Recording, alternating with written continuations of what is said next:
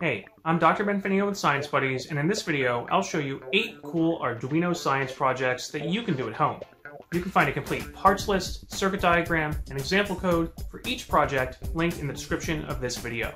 If you're new to working with Arduino, we've also got you covered with a complete Intro to Arduino tutorial series that again, you can find linked in the description of this video. Let's take a look at the projects.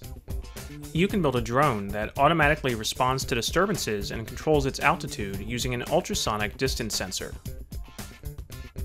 Build a self-driving car that can automatically navigate a roadway and autonomously avoid obstacles.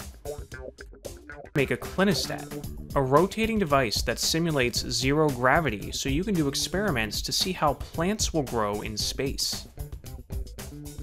Make your own programmable strobe light for a stroboscopic water fountain.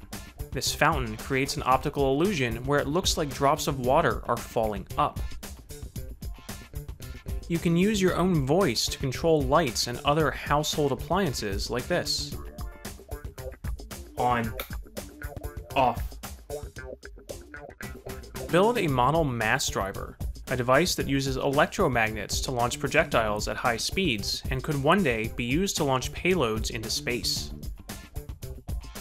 You can make an infinity mirror. At first, it looks like a regular mirror, but when it lights up with LEDs controlled by the Arduino, it looks like an infinitely deep tunnel of light. And finally, you can design an automatic feedback control system using liquids to represent the behavior of blood and insulin in the human body, so you can model the function of an artificial pancreas. Remember that you can find written instructions with materials lists, circuit diagrams, and example code for all eight of these projects on our website, linked in the description of this video. For over a thousand other awesome hands-on projects in all areas of science and engineering, check out our YouTube channel and our website, www.sciencebuddies.org.